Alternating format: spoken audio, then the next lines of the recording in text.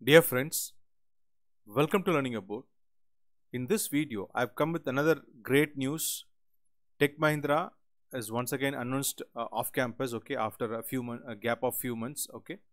Now, uh, so the role is the typical entry level software engineer role for which the compensation is 3.25 lakhs per annum and uh, big, at the beginning there will be a promotion uh, for a duration of 3 months, okay, during which the CTC will be like 2.6 lakhs per annum. That is uh, for the 3 months, okay, uh, the, the uh, selected candidates will get about 65,000 for the 3 months, okay.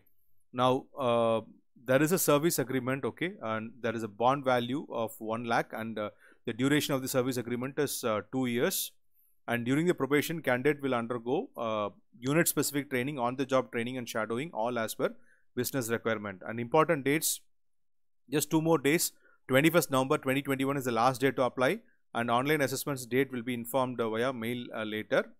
Okay uh, which means like you will get the communication in a week or two usually. Right? And they actually the uh, all the process you know like happens you know like very quickly as far as TechM is concerned. Okay, now coming to the educational uh, qualification, so they've asked for a minimum of 60 percentage in 10th, uh, 12th uh, graduation and PG. Okay, wherever applicable, like so 60 percentage minimum, and then uh, so BE BTech eligible, MCA eligible, MSc Computer Science eligible.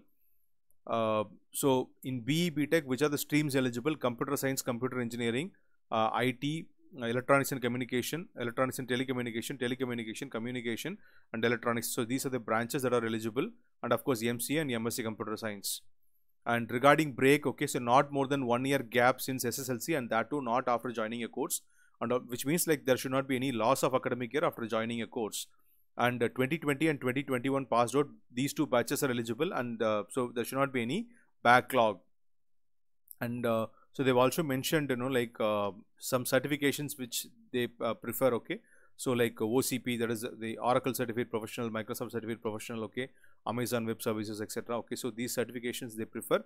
And also if you have done you know like uh, any relevant course in the coursera credit mode edx credit mode that is also uh, preferred by techm okay now coming to the selection process uh, so the uh, as far as the written test is concerned which will be held on online so it will be conducted by uh, uh, mercer uh, uh, Mettl.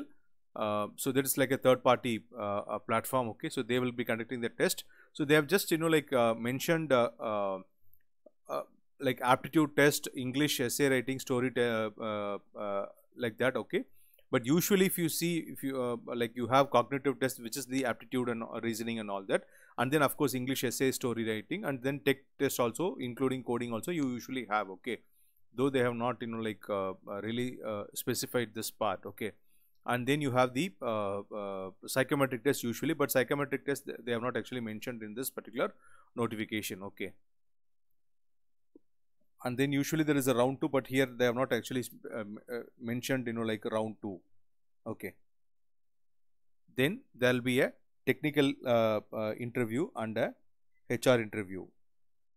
Okay. So all this will be like uh, kind of elimination round. next how to apply. Now click on the link to register. Okay. Uh, so in that you will see like engineering mca candidates. Of course msc computer science also eligible just click here to register okay? You will it will ask for your email id phone number okay? And then your class 10 details class 12 details and graduation details including your registration number. Uh, sometimes you know like they also ask for the preferred joining location i think but this time they have not asked for it okay? Uh, so this is a basically easy form to fill okay? Now i hope uh, the information i have provided in this video was useful to you. If you like this uh, video click on the like button and share it with your friends. And if you have uh, any queries uh, please do post your questions in the comment section below. Uh, i'll be very happy to answer your questions. And if you have not already subscribed to the channel please consider subscribing. Thanks for watching the video. Have a great day